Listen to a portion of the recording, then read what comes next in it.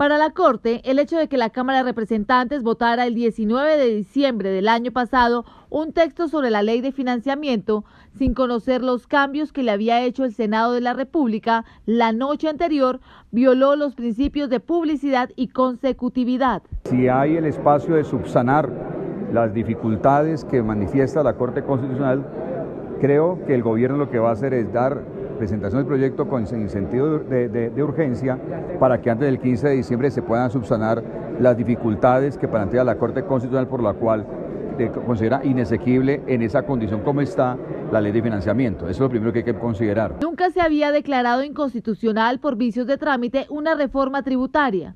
El fallo de la Corte, que fue emitido para que entre en vigencia a partir del 1 de enero del 2020, da un margen para que el gobierno vuelva a tramitar el proyecto. Creo que para evitar una mayor desconfianza y para que llegue esa inversión y para bajar la carga impositiva para las empresas, pues por eso es necesario una nueva reforma tributaria que sé que el gobierno ya la está preparando. Solamente tendrá efecto a partir del 1 de enero del 2020 y que eso implica que las declaraciones de renta del año 2020 se harán también sobre la ley de financiamiento, que es la que tiene vigencia en el año 2019. Con un mensaje de urgencia por parte del Gobierno Nacional, el Congreso deberá volver a legislar la ley de financiamiento. Realmente la evaluación de la afectación en términos de ingresos eh, apenas la va a hacer el gobierno. Yo creo que no hay una mayor afectación.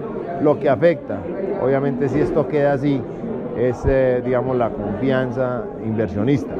Por eso yo lo que creo que va a terminar pasando, y es el deber ser, es que a través de un mensaje de urgencia el gobierno vuelva a meter la ley de financiamiento para que la debatamos y la votemos en noviembre o principios de diciembre. Yo creo que no deja de preocupar las consecuencias económicas y la senda de crecimiento que venía teniendo el país como consecuencia de esta decisión de la Corte.